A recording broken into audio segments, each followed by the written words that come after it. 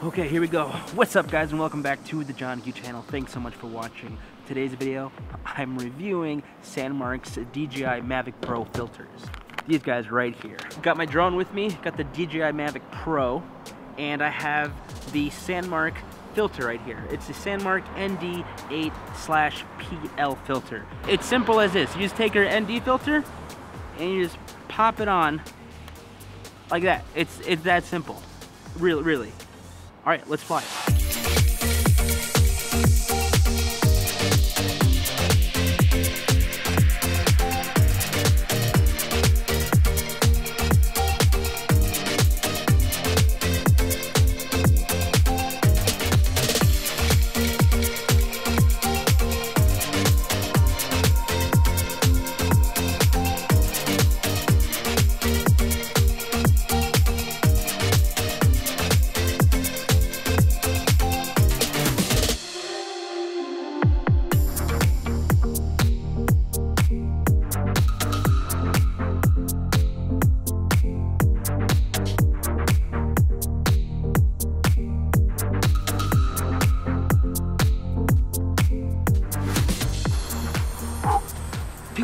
So freaking cold. Why do I live in the Midwest? Okay, uh, small disclaimer, Sandmarc did send me these filters to review on my DJI Mavic Pro.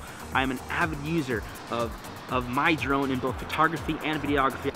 They did send me this stuff to review. I'm gonna give you my honest thoughts. If it sucks, I'll tell you if it sucks. If it's good, I'll tell you it's good. You're probably asking like, why on earth, Johnny, why on earth would I ever wanna buy filters for my drone?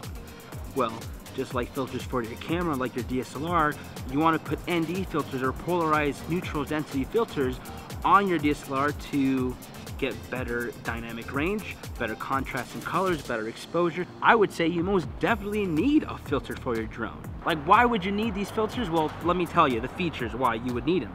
Uh, there's more control over your exposure. So the reduction of light into your sensor, if I were to take this filter off, like it's pretty bright, if I were to put it back on, you can see my dynamic range coming back into play, which means I have more control over my settings, which is super important to me.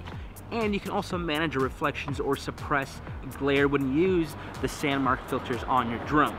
So put that all into play, all three of those things into play into one setting, which is the filter on your drone. You can have epic drone photography and video. So that's basically why you would need filters for your drone. Just like you would need filters for your DSLR, if you don't have a filter on your camera or your drone, going to be bumping up shutter speed, probably ISO, and maybe your aperture. So when you add these filters to your drone, you add these layers of, like I said, more control in exposure, reduced lighting coming into the sensor, and you get to manage reflections and suppress glare, which is, you would think, oh, I don't need those things, but once you start going out in the field and using your camera or your drone and you don't have a filter on, you start seeing the difference. When you start using your drone or your camera out in the field and then you realize, I wish I had a filter so I can dampen light. It kind of makes a world of a difference.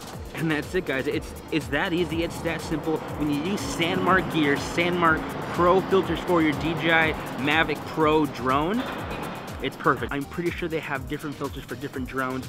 I will put in that link different drones if they have them in the description below, so check that out. Uh, let them know that Johnny Q sent you.